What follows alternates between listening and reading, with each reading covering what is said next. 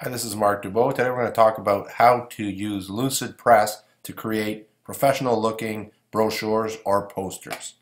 Um, first thing you want to do is log into your Google Drive and I've already added it but I'll show you the quick way to add uh, this app so that it works with your Google Drive. it's not as intuitive as I think it should be so um, tutorial is pretty much uh, necessary to know what to do I guess.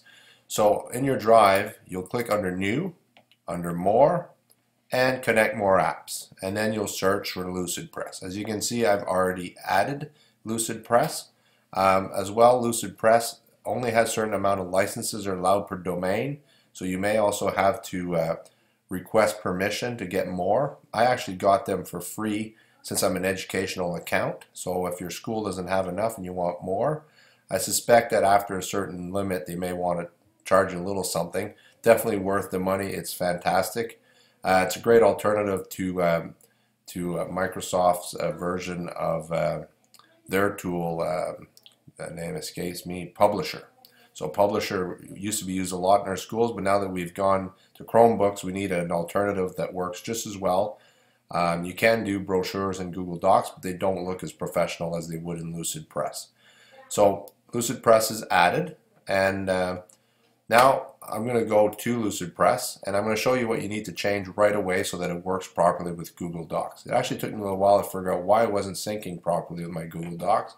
It's because you have to actually go to the settings under account and activate it. So you have to physically go and click on this. So often you would assume if you add an app from Google Drive to uh, work with uh, another app that it would work automatically. But this one here, you have to come here, click automatically sync a new uh, new documents to Google Drive, and you know how often do I want to do this? I'm going to do it once a week, and I'll save these changes.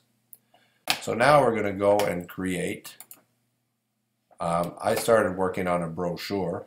And I, as you can see, there's a lot of power here. You can add a page, a blank page, or a front. It's only two pages, and as you can see, I've already added this because this is a brochure.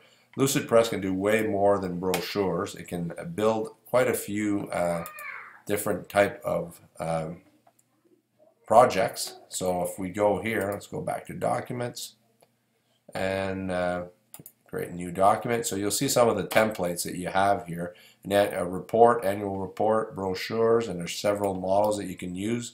Um, business cards. So if you're doing a business class and you want them to work on their art and you're teaching them composition, CD pamphlets, event invitations, there are just so many things that uh, normally I would use InDesign, but InDesign is so much more complex. You can even create booklets, magazines, um, newsletters,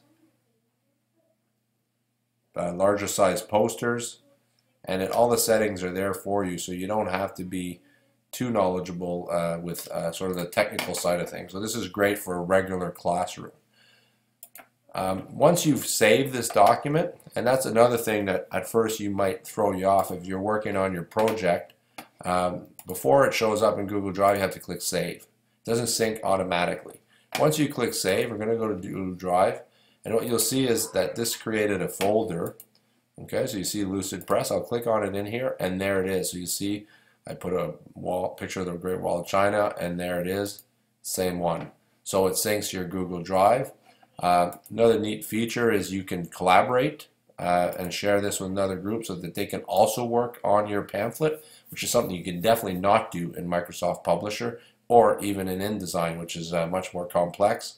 Uh, but if you're working with students, this is a really fantastic tool. Uh, highly encourage you to try it out. All right, this is Marc Dubeau. If you have any questions or comments, please leave them below. Thank you very much.